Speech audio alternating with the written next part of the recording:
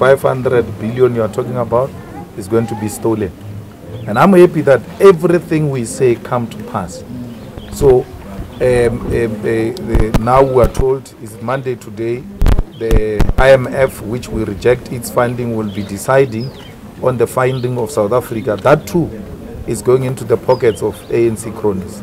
So it's exactly what uh, we should be expecting. Um, um, um, how can the spokesperson of uh, a president uh, continue to speak on behalf of a president. Because the president is supposed to champion anti-corruption program. How is she going to speak when the husband is deeply involved uh, in corrupt activities? And uh, to say she didn't know is to take advantage of uh, uh, our own people. She knew she's probably part of the company and she probably gave direction or she probably herself filled in the documents. You will never know what happens in the bedroom. Uh, they might be filling those documents in the bedroom. So, you, you issues of partners, you can you know confirm them. So, the president must do an honorable thing and ask her uh, to step aside uh, in, in defense of the integrity and the image of that office.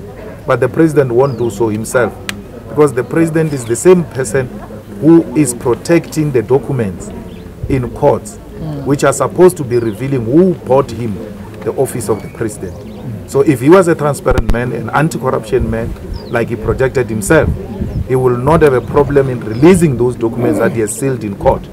If he can lead by example, all those people will follow. Yesterday we said when we're celebrating the EFF 7th anniversary that the president must lead by example, must release those sealed documents I'm telling you now, all the names that are in those sealed documents of the president, all of them, without fail, are the beneficiaries of the PPEs.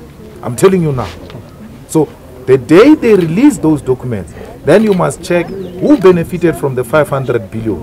Is the people who bought the president the office of the president.